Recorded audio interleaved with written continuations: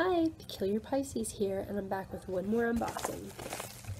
Uh, so this is from The Scented Squirrel, and I said in my very first video that I was not going to do reviews on indie uh, wax people, but that I would do unboxings.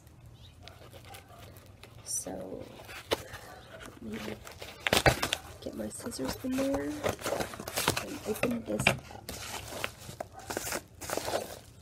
Already I can smell it. That's great. So she did a special on Facebook for new people that haven't bought before. As you can see if there's an invoice. Um, it was $7 for the sampler, and that was including the shipping price.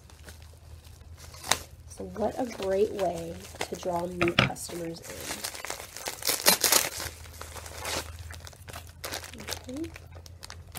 So, scented squirrel, scented creations handmade in Kent, Ohio. Owner is Jess Dickey.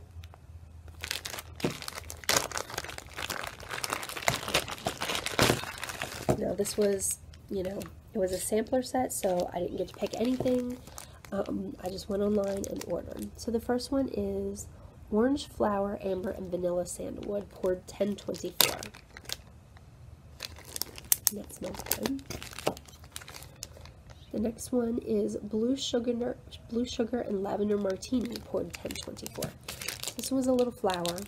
This one is a wedding cake.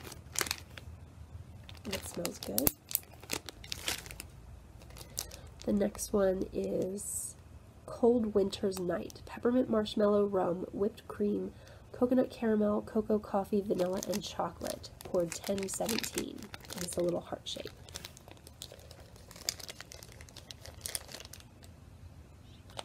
That smells good. They all smell good so far. The next one is Blackberry Sage and Cider Lane. And it's a cute little flower. That smells good. Poured 1025. Excuse me.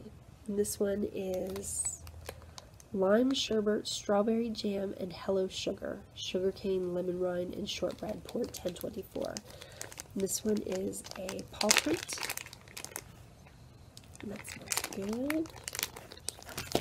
The next one is a partridge in a pear tree, caramel crimson pears, and 7-Up pound cake. And the little wedding cake again. That smells good. And finally, winter moon, peppermint, crisp pine needles, white fir, clove, patchouli, oak, and sugar pine. Poured 1024. And that smells good.